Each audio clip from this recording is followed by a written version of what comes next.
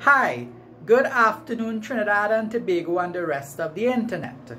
My name is Hassan Voyeau and I live on the beautiful island of Trinidad and Tobago. 2023 was special to me because I was able to write two books.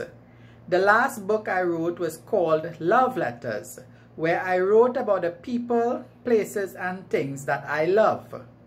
In 2023, I set a goal to soften my heart.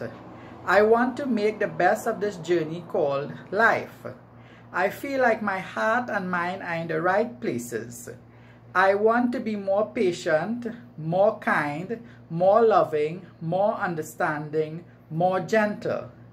2023 was all about loving life and being able, being open to love.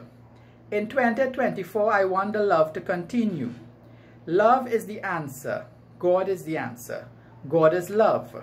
In addition to being a book writer, I am also a technology blogger. In 2024, I want to write more technology blog posts. I want to create my coding and web developer portfolio and I want to finish my book Learning to Code Again. And with some luck, I hope to win a prize in this Goodwall Challenge. Happy New Year to everyone. Peace, love, and tech.